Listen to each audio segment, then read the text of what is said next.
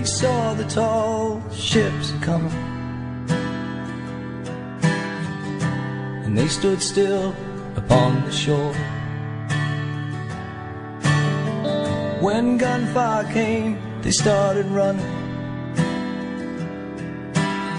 But they'd taken 25 or more. The dark baby cried for a mama. But she just lay beside her still. Like refugees in their own land. And not being ready for the kill. And we can all be sorry for things we've done. And we're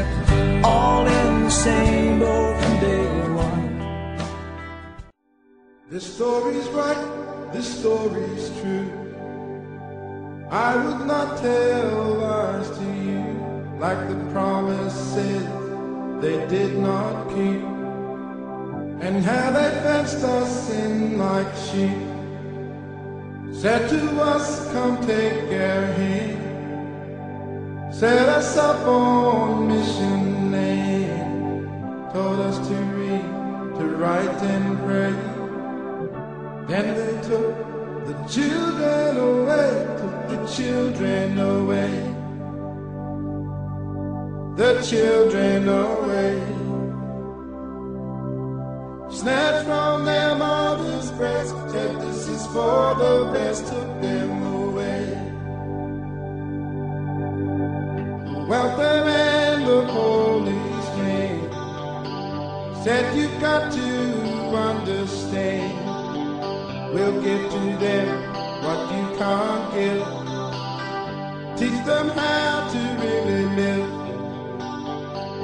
Teach them how to live their set. Humiliated them instead. Taught them that and taught them this. And others taught them. You took the children the children away. Breaking our mother's heart, tearing us all apart, took them away. One dark day on Framlingham came and didn't give a damn. My mother cried, go get their dad. He came running, fighting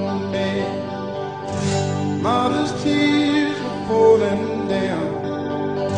Dad shaped up and stood his ground. He said, You touch my kids and you fight me. Then they took the stronger family, took us away. They took us away. Sent us off to foster homes. As we grew up, we felt alone cause we were acting white.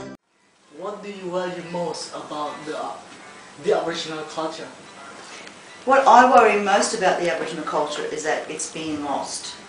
Okay, we um, lost all our language, our culture, and um, we lost our families. So the most thing I'm worried about, and what I want to see happen, is more Aboriginal culture being brought back into the schools, being taught.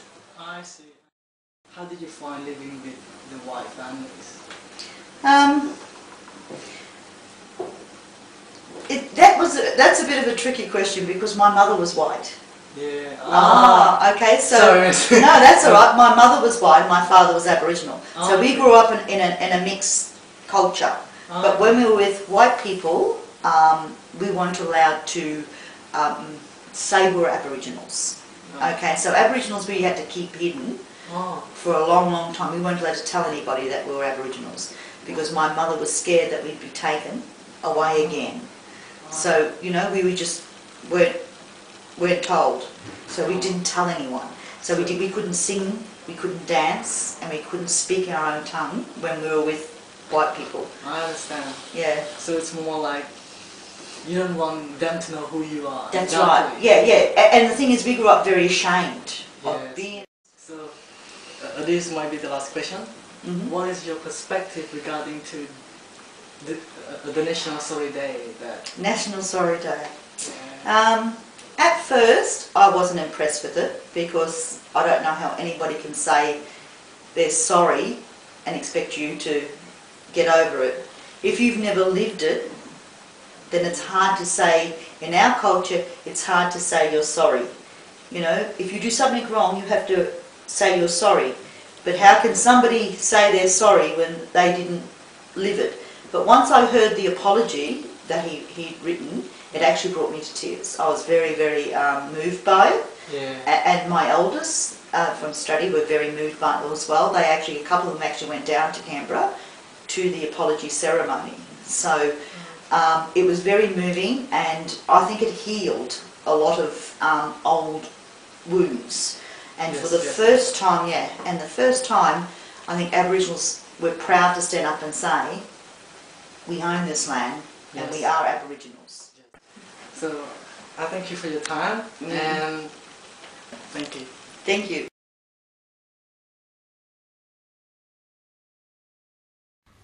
To the stolen generations, I say the following. As Prime Minister of Australia, I am sorry. On behalf of the Government of Australia, I am sorry. On behalf of the Parliament of Australia, I am sorry. And I offer you this apology without qualification. We apologise for the hurt, the pain and suffering we, the Parliament, have caused you by the laws that previous Parliaments have enacted. We apologise for the indignity, the degradation and the humiliation these laws embodied. We offer this apology to the mothers, the fathers, the brothers, the sisters, the families and the communities whose lives were ripped apart by the actions of successive governments under successive parliaments. So let us turn this page together. Indigenous and non-Indigenous Australians, government and opposition, Commonwealth and state, and write this new chapter in our nation's story together.